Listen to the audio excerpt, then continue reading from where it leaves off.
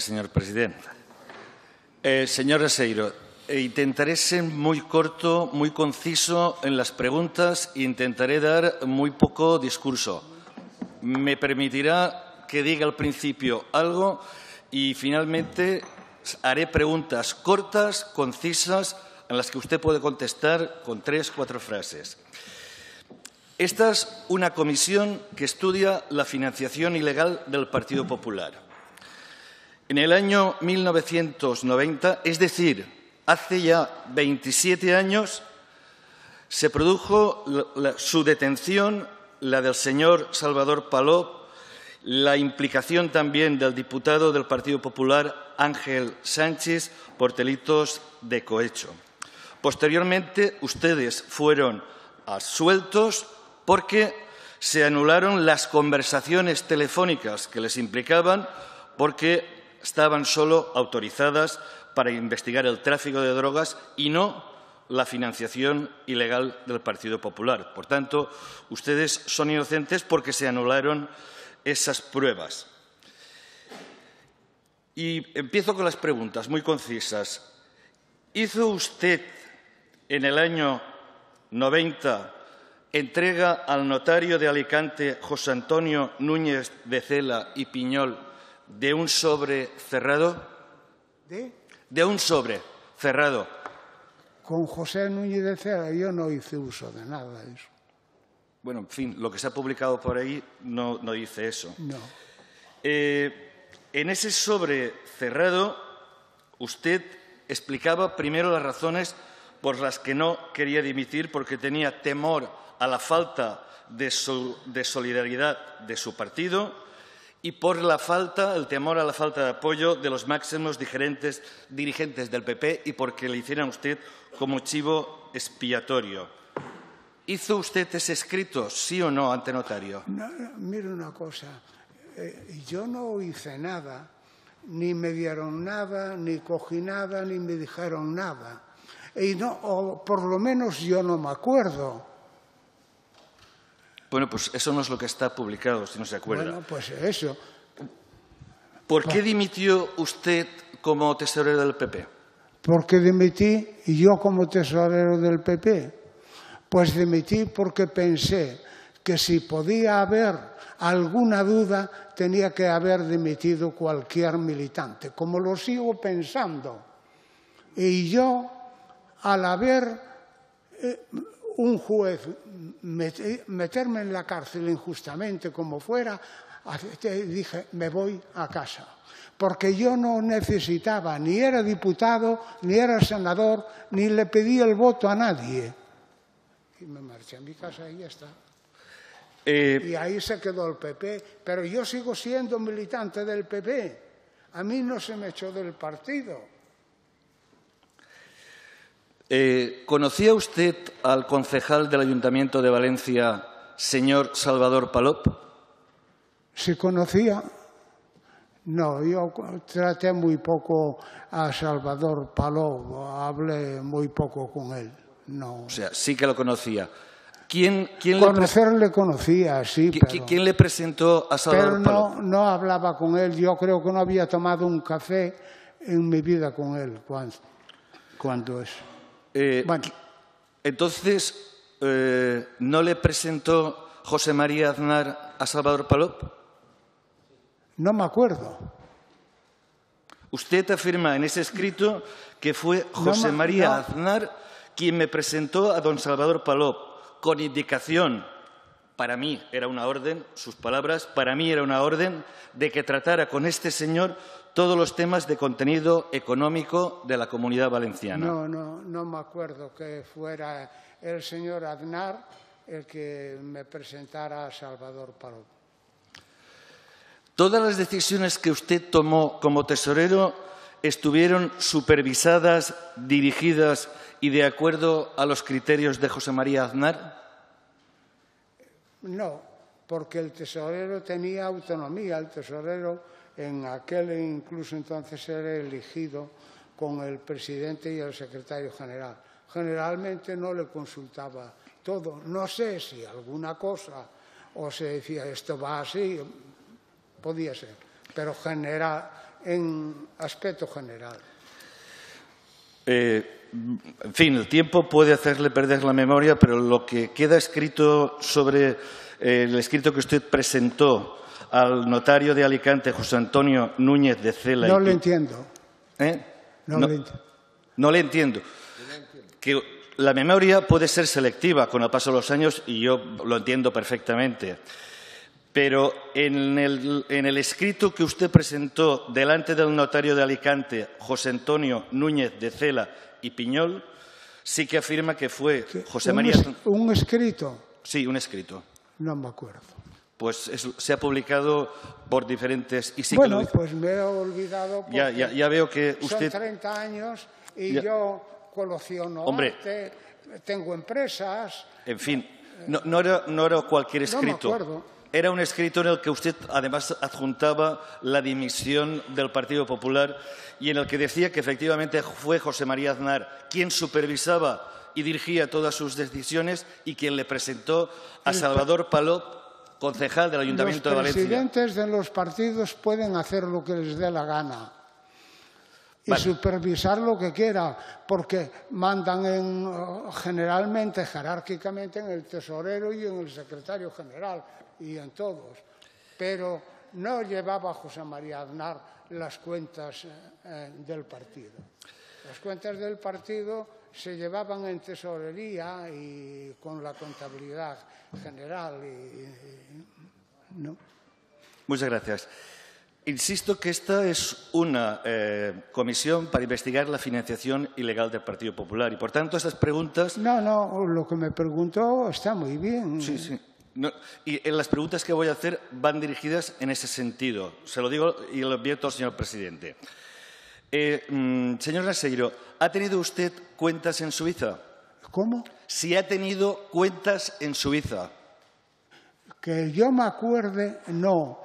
Aparece por ahí y dicen que hay una cuenta. Yo diría que esa cuenta no es mi firma, en primer lugar, y yo no me acuerdo. Sé que en alguna ocasión mandé algún dinero a Suiza porque tenía un nieto que estaba enfermo y había ido a un médico allí, pero yo ninguna cuenta del partido. No, no, no, digo suya, suya. Ni, ni mío. Suya. Una cuenta suya.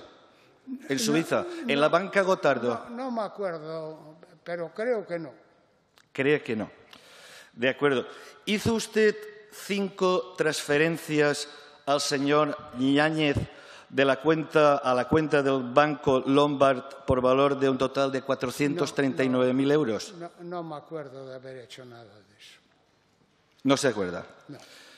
¿Hizo usted una transferencia? Creo que no, creo que no, pero no me acuerdo. Pero puede ser que sí. Creo que no, pero puede ser que sí. ¿Hizo usted Pero una... más bien... A lo mejor sí. A- Creo a- que no, pero lo sí. A lo mejor sí. A lo mejor sí. ¿Hizo usted una transferencia a la esposa del señor Bárcenas, a la señora Rosalía Iglesias, por valor de 927.700 euros? No, no, No. no. En fin, lo que está publicado parece que sí lo hizo. No, no me acuerdo de nada de eso, no. En fin. Vale.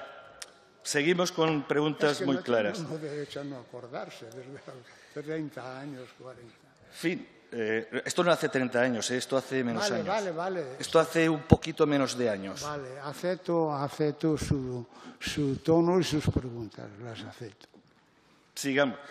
Eh, en fin, cuesta un poco creer que si no tenía tratos comerciales con el señor Bárcenas, le transfiriera dinero a través, a través de su esposa o a través de un intermediario, el señor Bárcenas.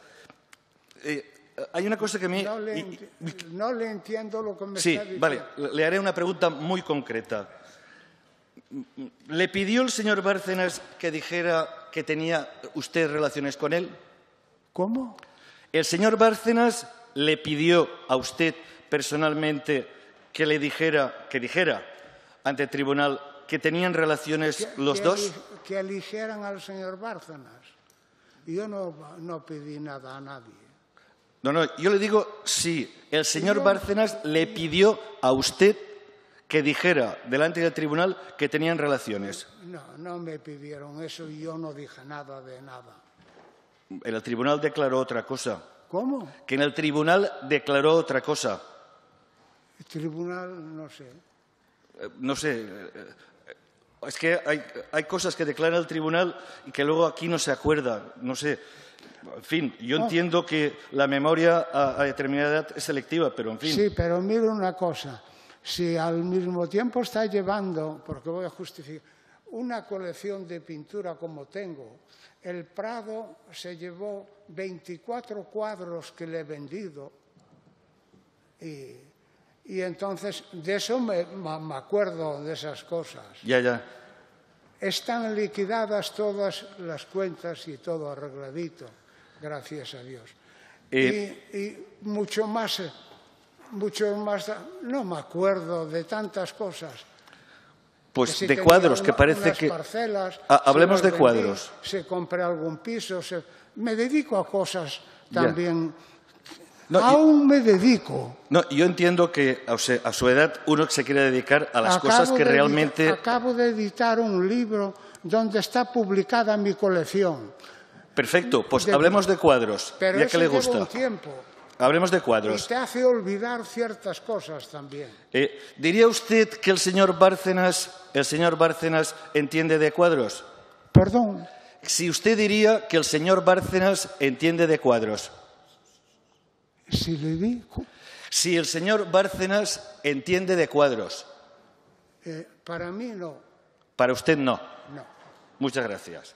Y, con- y usted con Bárcenas no ha tenido ninguna relación de compraventa de No sé cuadros, si hubo alguna relación porque, pero pequeña. porque, porque la tenía y porque le conocía. Y si hubo alguna relación de cuadros, son cuadros, podía ser que hubiera algunos si se, si se lo vendí, sin gran importancia. Cuadros meramente decorativos sin un significado importante. No entendía de cuadros. No entendía de cuadros.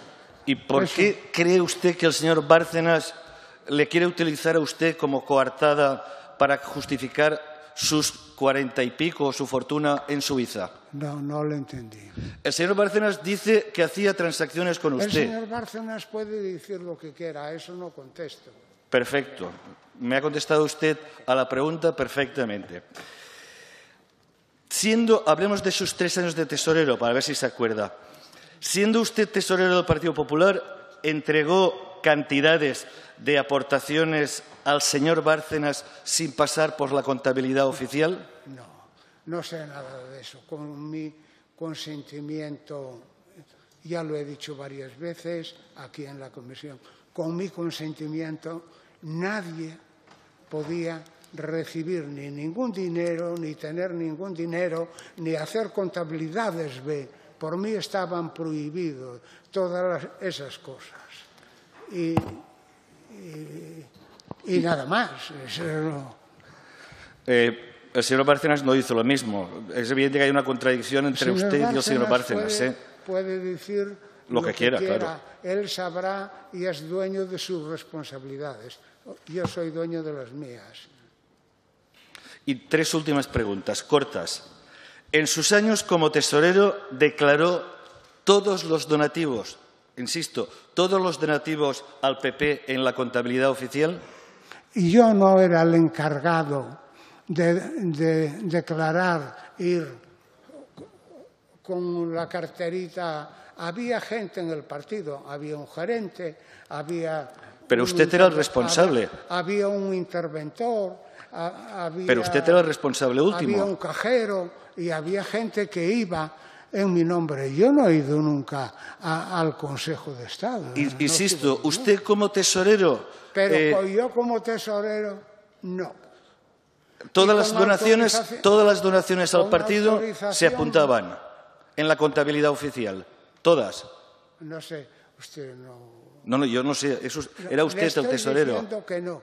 Como tesorero, yo no hice nunca ninguna cogida de dinero de nadie, ni empresario, ni individual, ni no he cogido dinero de El, nadie. el Tribunal de Cuentas no dice lo Y mismo. por No eso dijo lo mismo, vamos. de- y mandaba a hacer ciertas cosas. Un tesorero no iba a estar en las oficinitas esperando allí en la puerta. ¿eh?